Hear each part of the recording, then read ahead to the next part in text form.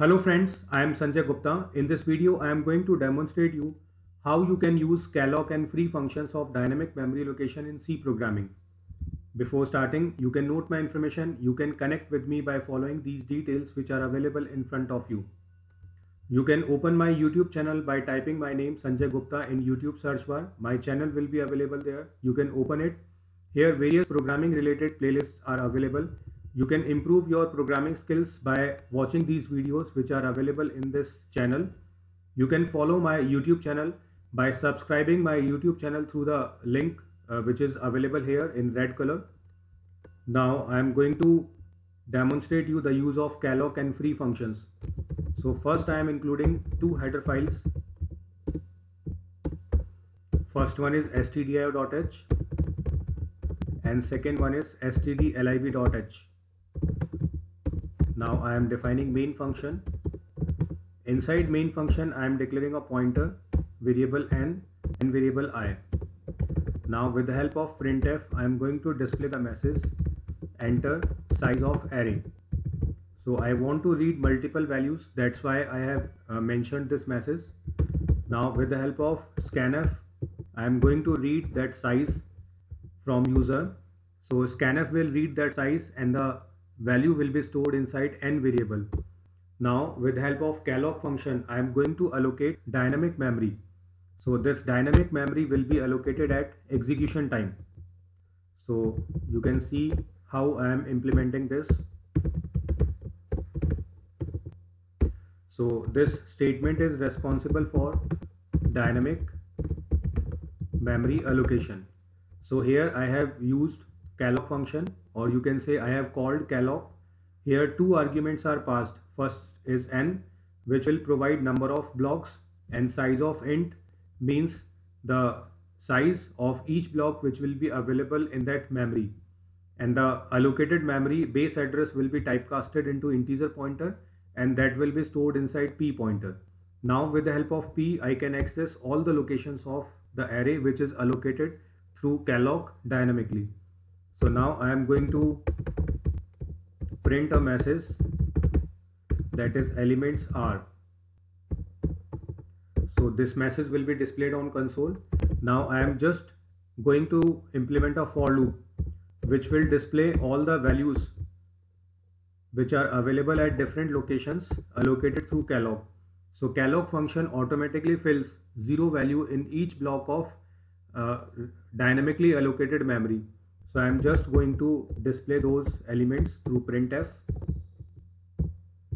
So for that purpose I am using this notation asterisk p plus i. So p is having base address. I have added i in this in that base address and that base address is dereferenced with the help of this asterisk sign. So the value which is available on a particular address will be displayed on console. Now after completion of this loop, I can call free function. So free function is used to deallocates dynamically allocated memory. And then at last I can call sorry at last I can write return 0 so this is the complete impl implementation of calloc and free functions. Now I, I, I can execute this code. So I am entering 4 as size of array. You can see the output. All the elements are printed as 0 because calloc automatically fills 0 at uh, different locations which are allocated through it. So with the help of this for loop, I have displayed those uh, blocks and with the help of free, those dynamic blocks will be automatically freed so that they can be used by another application which is uh, currently being executed in your uh, computer. Now I am going to read values from user and then I am going to display those values with the help of a loop. So I am copying these statements and I am pasting them here. So now after dynamic memory allocation, I am going to read n numbers from user and then those n elements will be displayed from sorry those n elements will be displayed on console so this message enter elements will be displayed on console. Loop will repeat n times. Then in place of printf I have to use scanf. And I just have to pass addresses of each location. That's why I have removed asterisk sign. So th this block is responsible for reading part. And this block is responsible for printing part.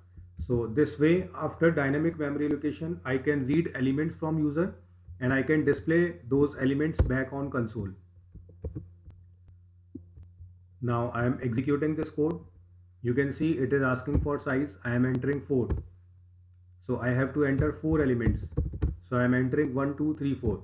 You can see the output. It is showing 4 elements which is entered by me as output so this way I have demonstrated you how you can use calloc and free functions in C programming which are available for dynamic memory allocation and for dynamic memory deallocation. So I hope you have understood how you can use these functions for dynamic memory allocation. If you want to watch more programming related videos, you can follow or subscribe my YouTube channel through the URL youtube.com slash Sanjay Gupta underscore tech school. You can download my programming app TechImage which is available on Google Play. Thank you for watching this video.